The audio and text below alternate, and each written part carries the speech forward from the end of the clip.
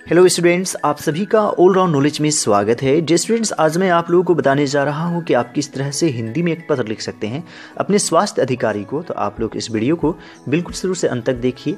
और यदि आप लोग मेरे चैनल पर नए हैं तो मेरे चैनल को ज़रूर सब्सक्राइब कर लीजिए। और यह वीडियो यदि आपको अच्छा लगता है तो इस वीडियो को ज़रूर लाइक कीजिएगा। तो सबसे पहले आपको अपना एड्रेस मैंसन करना है, जो एड्रेस क्वेश्चन में दिया रहेगा।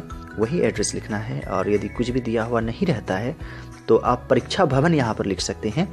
इसके बाद थोड़ा सा स्पेस देना है और स्पेस देने के बाद दिनांक मेंशन करना है। जैसे मैंने यहाँ पर लिख दिया है 25 जनवरी 2019 वैसे तो भी 2020 चल रहा है। इसके बाद इस तरह से लिखना है, सेवा में स्वास्थ्य अधिकारी साहिबगंज नगर निगम, साहिबगंज, फिर थोड़ा सा स्पेस देने के बाद विषय लिखना है। मोहल्ले की सफ़ाई हेतु प्रार्थना पत्र। और इस तरह से आप शुरू कर सकते हैं। महाशय, हम आपका ध्यान मोहल्ले की सफ़ाई संबंधी दुर्व्यवस्था की ओर खींचना चाहते हैं। आपको यह जानकर आश्चर्य होगा कि हमारे मोहल्ले की सफ़ाई हेतु नगर निगम का कोई सफ़ाई कर्मचारी दस दिनों से काम पर नहीं आ रहे हैं।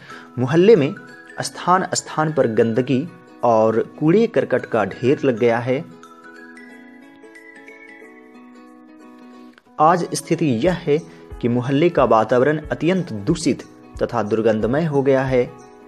चारों ओर मक्खियों की भिन भिनाहट है, नालियों की सफ़ाई न होने के कारण मच्छरों का प्रकोप बढ़ रहा है, जिसकी वजह से मोहल्ले के लोग बीमार पड़ रहे हैं।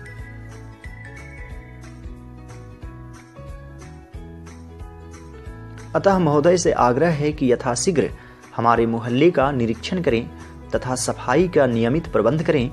आपकी ओर से उचित कार्यवाही के लिए हम आपके आभारी रहेंगे। और यहाँ पर लिखना है, प्रार्थी मोहल्लेवासी। वार्ड संख्या दे देना है।